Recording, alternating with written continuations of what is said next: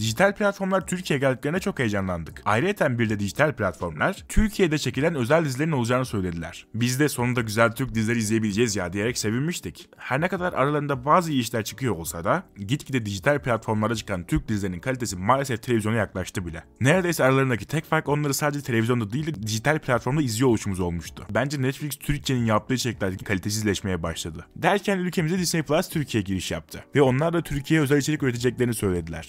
Sevindik yani Netflix'e bir alternatif gelmişti ve belki de Netflix'ten daha iyi iş yapacaktırlar diyerekten sevindik işte. Kendileri kaçış çıkarttılar. Farklı bir konuya sahip aslında kaçış. Hani izleyenler sevebilir belki de. Ben de ilk bölümü izledim ama devam etmedim. Belki bir gün devam ederim. Neyse hani bunun yanında bir de Atatürk dizisinin geleceğini falan duyurdular. Atatürk dizisi zaten bizi bayağı bir gazladı, bayağı bir sevindirdi. Ama yani Atatürk dizisinin yanında Recep İvedik gelinde Disney Plus'a yayınlanacağını söylediler. Disney Plus'ta bir tık Netflix Türkiye'nin yaptığını yaparaktan kalitesizleşme yolunda ilerleyecek mi acaba diye düşündük. Ve şimdi de bir proje daha duyuruldu ki arkadaşlar. Bana soracak olursanız Recep İvedik'ten daha da beter. Fox TV'de yayınlanıyordu galiba. Yasak Elma adında bir dizi var arkadaşlar biliyorsunuzdur bazılarınız. Özellikle Murat Soner'in yaptığı videoyla falan bayağı popüler oldu galiba bu dizi. Ondan önce de popülerdi aslında yani Türkiye'de çok izleniyor diye biliyorum ben. Benim açıp da Yasak Elma dizisinin bir bölümünü dahi izlemişliğim yok aslında. Ama Yasak Elma'ya dair bir haberimiz var. Disney Plus Yasak Elma dizisinde yer alan Yıldız dizisine özel bir film çekecekmiş. Eğer Yasak Elma'daki Yıldız karakterine hayransanız kendisine solo bir film geliyor. Çok saçma değil mi ya?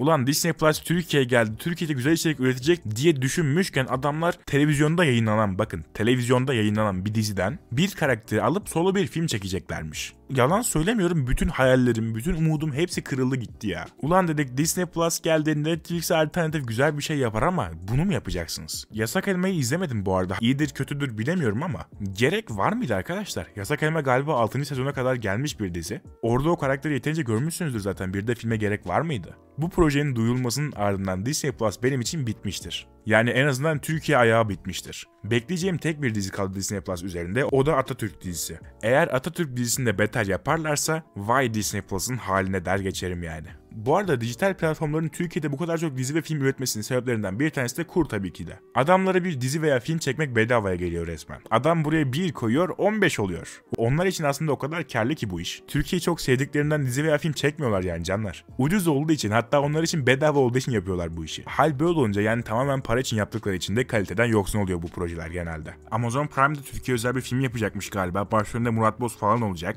Ondan da hiçbir umudum yok. Muhtemelen romantik komedi tadında garip bir film olacaktır. Dediğim gibi sırf Türkiye ucuz zevkten burada film dizi çekiyorlar. Aralarında bazıları iyi çıksa da bakın harbiden bazıları çok iyi çıksa da genelde bu projeler tutkudan yoksun oluyorlar. Ama bakalım arkadaşlar çok da önyargılı olmamak lazım. Belki de Recep İvedik 7 Marvel evrenine falan bağlanır. Ya, olabilir ya neden olmasın. Belki de yıldız karakteri Star Wars evreninde falan geçiyordur. Yine olabilir Star Wars evreninde paralel evrenler falan var mı bilmiyorum ama belki o şekilde dahil edebilirler. Yasak Elma vs Darth Vader ne bileyim olabilir ya. Merakla bekliyoruz bakalım bu projeleri ne yapacaklar ne edecekler göreceğiz. Hatta bir teori üretmek istiyorum. Finalde en son Darth Vader ve Yıldız karakteri kapışırken Yıldız Darth Vader'dan özür dileyip ona bir elma uzatır ve o elma zehirlidir. Darth Vader bir elma sayesinde ölü verir. Ortaya güzel bir iş çıkabilir bu arada. Şu an heyecanlandım bak. Ne diyelim artık hayırlısı olsun. Eğer Yasak Elma'daki Yıldız karakterini çok seven varsa onun da filmi geliyor artık sevinebilir. Söyleyeceğim şeyler bu kadardı. Kendinize iyi bakın. Hoşçakalın.